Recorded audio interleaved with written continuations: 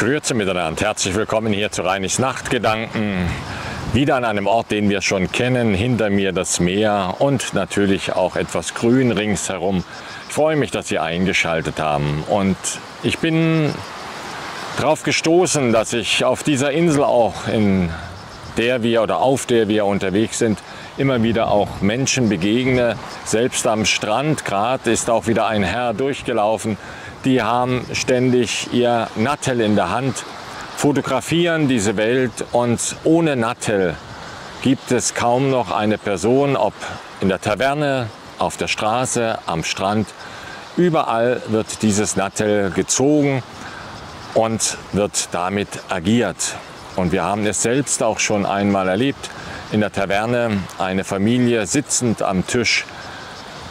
Es wird sich nicht unterhalten, sondern jeder schaut, was er hat und dann reicht er dieses Nattel, das ist hier keins, das ist ein Losungsbüchlein, dann reicht er das Nattel rüber oder sagt, schau mal auf diesen Link und dann gibt es ein Gelächter. Und als ich das so häufig gesehen habe, kam mir ein Gedanke.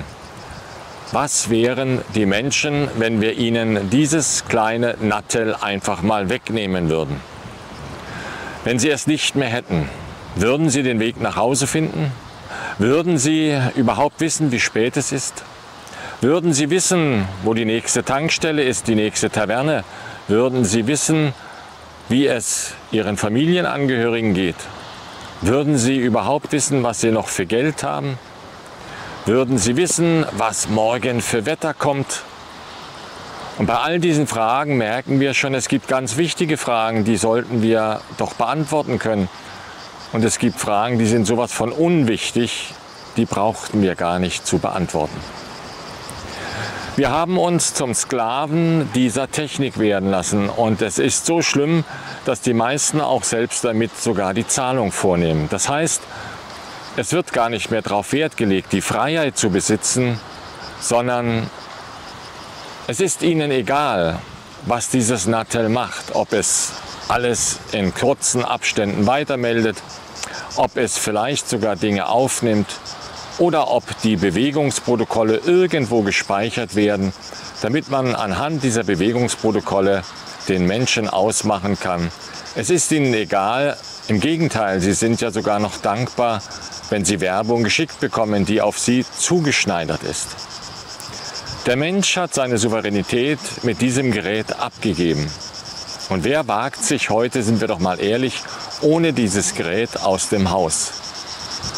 Letztlich kommt ein Gedanke, es könnte mir ja etwas passieren.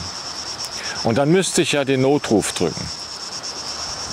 Was haben, so frage ich an dieser Stelle, Generationen vor uns getan und was habe ich als kleiner Bub getan, als Jugendlicher, als junger Erwachsener? Wir hatten dieses Nattel nicht. Aber ich kann mich heute immer noch am Himmel orientieren in den Städten. Ich finde auch Dinge, die andere wahrscheinlich nicht finden. Ich kann auch ein Feuer entzünden, ohne dass ich nachschauen muss bei den Tipps, wie man ein Feuer entzündet. Und ich kann auch ein Brot backen, ohne dass ich das Nattel aufschlagen muss und schauen muss, wie macht man es denn genau. Ja, wir hatten Bücher, wir hatten Landkarten, wir haben Tipps von unserer Großmutter gehabt und haben uns navigiert, indem wir weitergegeben haben.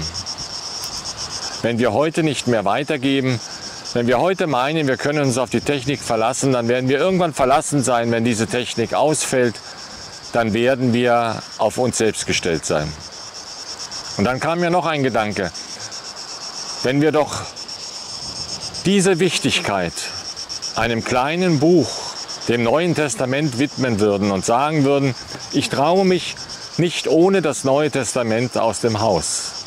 Ich muss es immer bei mir haben, denn ich will nachschlagen. Ich möchte mit dem verbunden sein, der mich geschaffen hat und der die Schöpfung geschaffen hat diese Welt. Ich möchte von ihm geführt, geleitet, informiert werden. Wer hat schon ein neues Testament bei sich? Das lassen wir getrost zu Hause und es ist vielleicht schon so verstaubt, dass wir sagen, das brauchen wir gar nicht. Und dann frage ich mich, wie wollen wir das Leben verstehen? Wie wollen wir wissen, was der Schöpfer von uns erwartet? Was er uns vielleicht zu sagen hat? wenn wir uns mit ihm überhaupt nicht verbinden. Wir spüren, wie kurios unsere Zeit geworden ist und wie wir selbst uns vom eigentlichen Menschsein entfernt haben. Ich wünsche uns an diesem Abend, dass wir vielleicht morgen ein Exempel starten und dass wir mal richtig allen Mut zusammenfassen und sagen, ich lasse mein Nattel, mein Handy zu Hause und dafür stecke ich mir mal ein kleines neues Testament ein und gehe diesen Tag ganz anders an. Ich würde mich wahnsinnig interessieren, wenn es jemand tut, dass er mir seine Erfahrungsberichte zukommen lässt. Wie hat er den Weg gefunden? Wie hat er vielleicht sein Ziel erreicht, was er erreichen wollte? Und wie er hat äh, sich bewegt, ohne die Schritte zählen zu lassen und vielleicht auch ohne zu wissen, wie der Pulsschlag war. Ich denke, es ist Zeit, dass wir lernen, uns für wichtigere Sachen zu interessieren und mit denen zu verbinden, die lebenswichtig sind und die anderen Dinge einmal wieder zur Seite legen. Es reicht ja auch schon, wenn man einfach mal sagt, ich nehme dieses Gerät nicht zum Bezahlen, sondern ich möchte die Freiheit des Bargeldes in Anspruch nehmen. Das kann keiner nachkontrollieren. Wo habe ich was ausgegeben? Das weiß letztlich niemand. In diesem Sinne wünsche ich uns eine gesegnete Nacht, dass wir uns verbinden mit Gott selbst, mit seiner Botschaft. Führe mich, o oh Herr, und leite meinen Gang nach deinem Wort. Sei und bleibe du auch heute mein Beschützer und mein Hort. Nirgends als von dir allein kann ich recht bewahret sein.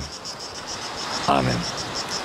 Mit dem Segen Gottes zu schlafen und unterwegs zu sein, ist die größte Sicherheit, die selbst ein Nattel, ein Handy uns nicht geben kann.